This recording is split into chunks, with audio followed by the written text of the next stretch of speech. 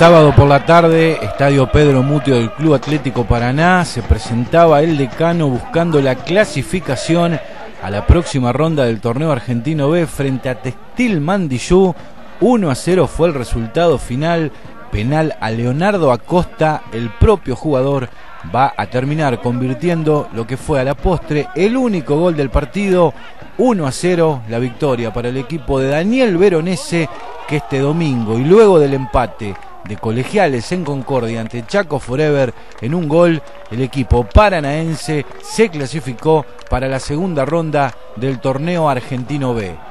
Semana complicada en cuanto a viajes. El miércoles estará enfrentando Atlético Paraná a Sarmiento de la Banda a partir de las 22 en Santiago del Estero.